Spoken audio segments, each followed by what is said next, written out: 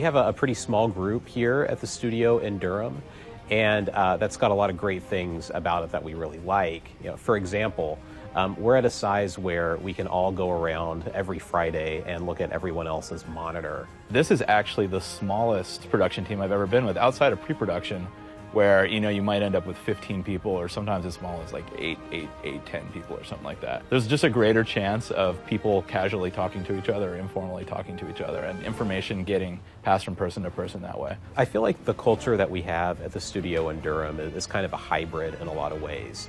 Uh, definitely the foundation is, is pure insomniac. At the same time we've got just a little bit of a startup vibe out here. You know we're, we're in this like um, kind of kind of low tech office space in a lot of ways. And it's like when you get your first car as a teenager, and that car is like a '78 Impala.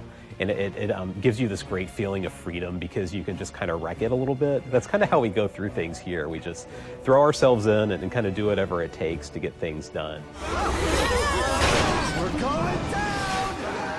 We opened up the studio here in January of 2009, and we've been working on All for One since since that very day. Uh, we knew that we wanted to make a Ratchet title that was all about cooperative play even back then. But some of the earliest discussions that led to All for One were talking about getting Ratchet and Clank on the screen as playable characters at the same time. In true Insomniac fashion, like once we kind of got to the point where we had that in place, and we decided to do that. We're like, we really have to add two more characters. She was taking a memo. Uh, I mean, we knew Captain Quark had to be the third, and there were a lot of discussions about who the fourth would be, and I, I can't for the life of me remember who suggested Dr. Nefarious. One of those times where somebody throws out an idea and you just know, oh, that's perfect. We absolutely have to do that. The story in All for One is, is kind of a little bit of a mystery. We've put four characters who don't really like each other at all into a situation where they're forced to work together. And part of the reason they're forced to work together is that they're on a, an unfamiliar planet called Planet Magnus, and they've been brought there by a, strange uh, galactic entity called Ephemeris, the creature collector. So much of what you're learning as a player as you play through is the origin of that enormous ephemeris spacecraft and the backstory of the planet that you're on.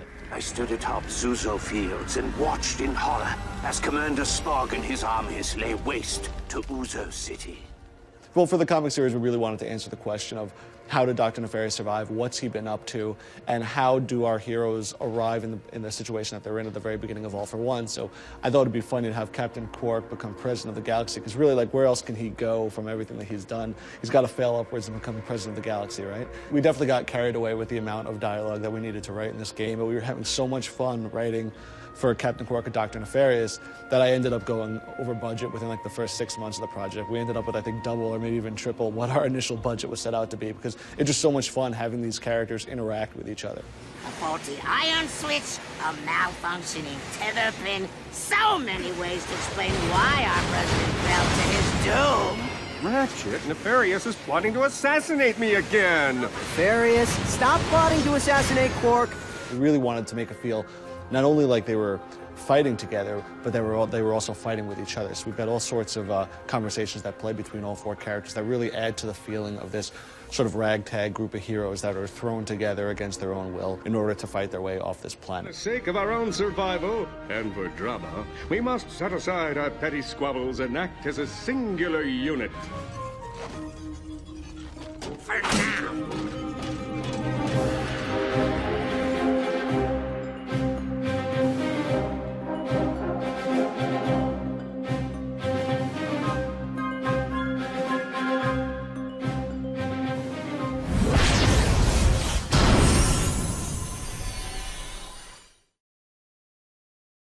プレイステーション。